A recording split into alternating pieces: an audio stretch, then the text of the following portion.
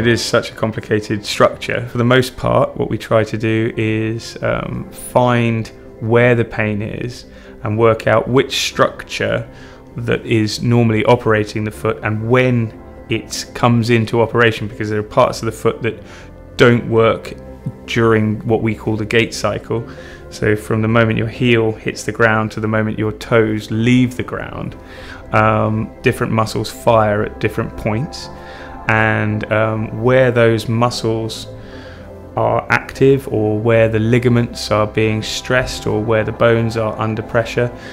Um, we need to work out when that's happening, and then we use typically some sort of insole to help stabilize the foot to offload the force that's causing that particular structure to suffer during normal walking.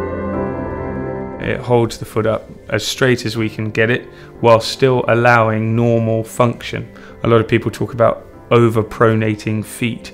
Well, pronation and supination are natural movements of the foot and they are required. Without the ability to pronate and supinate, the foot does not function anywhere near as well as it as it can.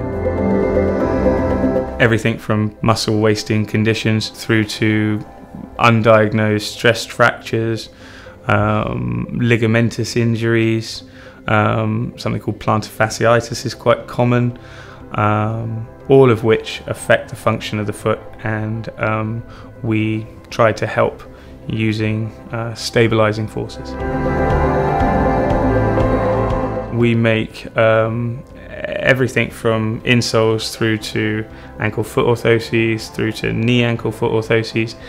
Um, we provide what is effectively an exoskeleton that allows stability for your skeleton uh, to help make movements more fluid, reduce pressure where that pressure is a problem, and to offload that pressure. I spent the best part of 10 years working uh, in a uh, hospital where I didn't have that facility. And the difference in uh, my ability to treat my patients because I have control over the production of the insole or whatever orthotic device it may be um, makes a phenomenal difference.